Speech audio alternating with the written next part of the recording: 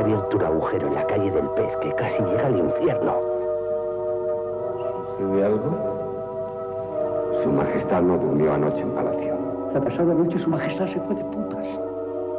¿Qué me dice? Quiero ver a la reina desnuda.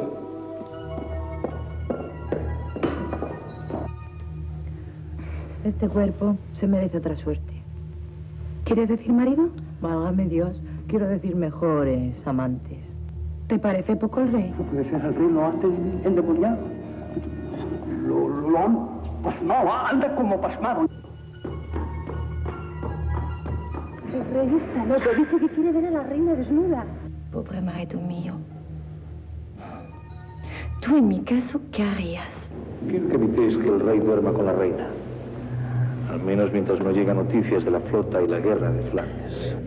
¡Dejadme pasar! ¡Soy el rey! Así como todo tipo de extrañas señales en el firmamento, quién sabe si diabólicas, han ocurrido esta noche en esta viña.